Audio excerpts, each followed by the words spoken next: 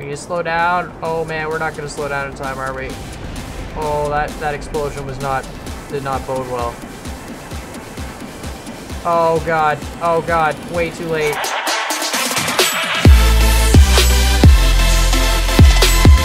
What's up guys, my name is Khan and we're back today with a new game for the channel. This is Kerbal Space Program. Now, this is by no means an actual new game. It's been out in alpha I think for a couple years and now it's in full release, but I love this game. I've played a lot of it, building all sorts of stuff. Obviously this world doesn't have too much stuff in it. This is a, a new world for the channel itself. It's a space exploration game that actually uses real physics. So you have to actually launch your rockets up into space and get it with enough speed to get into orbit and you have to jump from orbit to orbit. But uh, today we're going to go to the moon, but first I feel like uh, we should fly this jet. Because I, I, haven't played this game in a while, I just reinstalled it, started doing it for the channel, and I happen to have this jet on the uh, kAN Gaming save file. So I was like, you know what, we're gonna we're gonna fly this jet. And of course, you can customize everything, so you know, have a custom hotkey to fire up the afterburners there.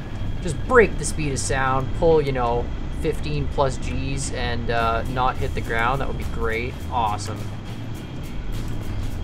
I mean, you can play this game with a with a joystick. You can also play with an Xbox controller. I play it with keyboard mainly because there are a lot of different controls. There's a lot of depth to this game, uh, and there's a lot of fun to be had. So let's just, uh, you know, we'll just, oh, crap. Oh, perfect. I don't know if this is to survive. Nope. We'll just revert to the hangar there. So anyway, so I built this motorbike. Um, I, I built this myself, but there was a YouTuber, or I don't know if it was a YouTuber or if it was somebody. Um, regardless, I've, I've seen a motorbike like this and I decided to build my own. So it's a pretty simple motorbike, a true motorbike. There is two wheels kind of overlapping in the front, but it looks like a motorbike, drives like a motorbike. It's, it's pretty awesome. And uh, we're gonna take it to the moon. Here we've got the uh, same motorbike carrying mechanism. You can see we've got the capsule right there. Now it's all hidden within this aerodynamic casing uh, to help this rocket go up. You can see this massive multi-stage rocket. So this is a six-stage rocket, um, and we should get the motorbike to the moon on six stages. But of course, when we get to the moon, we're gonna want some extra, some extra thrust because the motorbike on its own, it drives, but it's not the quickest thing. So let's just put some thrusters on this guy, just like that. Okay, and now we need some fuel tanks for that. Oh, Oscar B. Oh, that no, that's huge. Okay, how big's the donut? Holy crap, that's even bigger. Well, you know what? I guess if we uh, if we can't, we're not gonna be able to fit. So you know what? Let's just let's just go with the solid fuel. This is perfect. Brilliant. All right, that's that's how we'll do it. Those are solid fuel boosters. They'll shoot once, um, and that's how we'll get back to Earth. I think. Problem solved. All right, so we've moved our vehicle out onto the launch pad. We're gonna increase the throttle there. The throttle goes up with shift and down with left control. Um, you can hit X to instantly kill the throttle, but we're gonna we're gonna increase that to max. Turn on the SAS stability. Uh, also turn on the pitch and yaw control stability. And then we have to fire up the engines and then decouple the um, holding devices there. So boom and boom, and we're off. This is one small step for man, one giant leap for Greg Bulls. He's having a great time. Look at him go. Yeah, he's just, look, just, just. All right, we're up. Now, press space and that'll deploy those away. And we'll be breaking atmosphere here very soon. I think atmosphere is around 50,000 meters, give or take, uh, for the home planet. You can see there, you can start to see the planet rounded. All right, so we're gonna kill the throttle, deploy that, and then we're gonna check the map here real quick. Okay, so the AP is the uh, apoapsis of your orbit. That's the highest point in your orbit. And the PE is the periapsis, which is the smallest point in your orbit. So the moon's over here, so we're gonna set that as a target. And basically what we have to do is first put ourselves into orbit of Earth here, or Kerbin, and then we have to fling ourselves out with more thrust to the moon. So let's just, you know, let's just do that. But we are gonna motorbike to the moon, so let's deploy those fairings. So perhaps my favorite part about this game is the fact that, technically speaking, we're moving at 1700 meters per second. And if it was light out, you can see there the planet's moving below us. And eventually we'll hit the ground, but relative velocity is amazing because you're barely moving. I love the physics. I, I can't get over it. All right, Greg Bulls, time for you to get on the motorbike here. Nope, get down, get down, over. Okay, get on the board the motorbike, perfect. Now we've got um, an intercept here with the moon, so we'll enter the moon's gravity here, and then we'll actually be adjusted slightly by it and dip out of it here. But when we get into the moon's gravity, we're gonna slow down and let the moon's gravity actually pull us in. So, basically what you have to do is wait for another 28 minutes and 20 seconds. So I'm just gonna let the video run for another 28 minutes. Nah, I'm just kidding. You can you can time warp. We have to change our entire speed by that much within, which will take 39 seconds, and we have to do that exactly at the point at which we hit the maneuver. Now, obviously you can't do that. So what you do is you start your burn halfway before your maneuver is done. So we've got about 40 seconds, which means, oh, I already should have started it. But I should have started it when it said node in T minus 20. But it doesn't really matter. We'll still be able to hit the moon with this. Once again, Greg Bulls still having a great time. I think he's just excited to get that motorbike going. All right, let's just get rid of that. We'll just watch here. And there we go.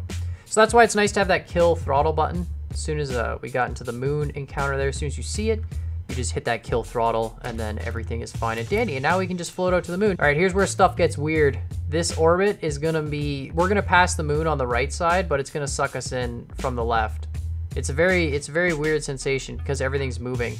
Now, the planets in these games and the moons and stuff, they don't actually pull each other with gravity. They moved on fixed orbits from each other. Um, so each moon moves on a fixed orbit from the planet, and then the planets move on fixed orbits from the sun. But everything you make will move on actual orbits. So they recently added communication satellites. Um, I believe, oh, I don't have any communication satellites, but you have to have communication satellites up if you want to remote control stuff. All right, so all we gotta do is find the retrograde here and just uh, burn it until we're not moving anymore. All right, let's do this. Perfect. You can see there the camera kind of switches when you're uh, falling. So now you can see we're falling straight towards the moon. Looks like we're gonna land in that crater, although it's the moon's probably gonna rotate a fair amount before we get down there. Oh, no, we're gonna go below. Now there's no atmosphere on the moon, so you don't have to worry about burning up or anything. You can fall at really weird angles. But uh, there is gravity, so you do have to worry about smashing into the ground going way too fast. But we'll just uh, set this to surface. It seems a lot closer than it is, but it's apparently 10 kilometers away. All right, let's burn it. We need to slow down. Oh man, we're not gonna slow down in time, are we? Oh, that, that explosion was not, did not bode well. Oh god, oh god, way too late, way too late. Oh god. Oh, he's alive and he's still having a great time. You just got stranded on the moon. And you're okay with all this. Do you have a limited, oh, you got unlimited auction. All right, you'll be fine. All right, coming in hot now, we've got our second Kerbin here, Adrian, coming to rescue Greg. Uh, I think we're pretty, we're pretty close there. We should be pretty close, close enough to uh, just do a nice little quick motorbike jaunt over. Oh, there's the target, perfect, okay. All right, 40,000. Yeah, see, look, did you see that? Did you see that? He's getting concerned. He knew what happened to the last guy who tried this. A little bit more, down to 20,000. All right, now let's hit the full, uh, full burner here.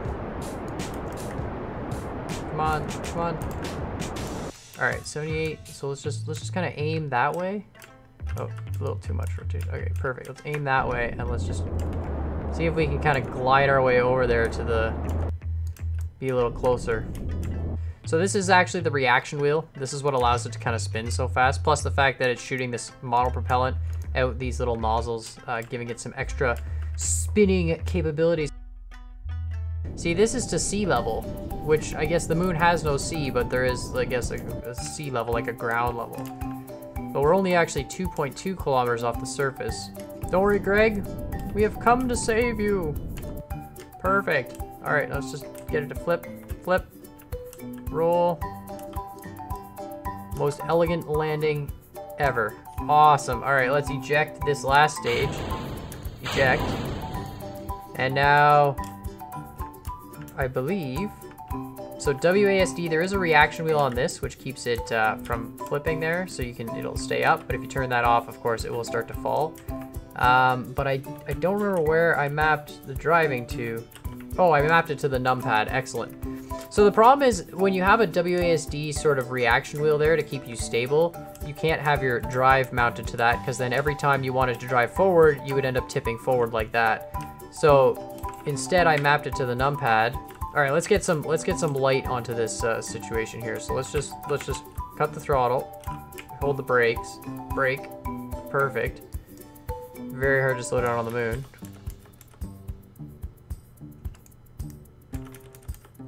All right, now let's just speed up here. Let's get the sun back. All right, so I think that's the crater up there. We're just, you know, we're just gonna leave Greg Bulls back there because at this point, this is only a one-seater anyways, so we're only gonna have one chance to make it back to Earth, and it's gonna be launching these rockets as we pick up speed right when we get to the top of this crater. All right, let's let's go, buddy. Just kind of drive in silence across the moon and, and ponder. Oh my god, I didn't expect. Okay, hold on. Oh boy. Oh boy. Oh boy. Oh boy. Oh boy. Oh, boy. Oh, that was not good. Oh boy. Oh boy. Oh boy. Oh boy. Oh, lost the back wheels. Okay. Okay, you know what? Let's do this! Oh yeah. Oh yeah, are we gonna make it? We gonna make We gonna make Yeah, we just... We puddle jumped. If you did like this video and you want to see more Kerbal Space Program, I love Kerbal Space Program, and if you want to see anything in particular, cool planes, or if you want to go to certain planets, if you guys do want to see more Kerbal, uh, there is an entire galaxy to explore. You can see as you zoom out, or not galaxy, I guess, but there is a solar system. And as you zoom out, there's asteroids and all sorts of stuff. And there's lots of planets that are modeled very similar to uh, to current planets. So if you guys want me to go to a particular planet or you want to see something in particular, make sure you put that in the comments down below. Hit that like button, hit that subscribe button. And as always, I hope you guys enjoyed this video, and I'll see y'all next time.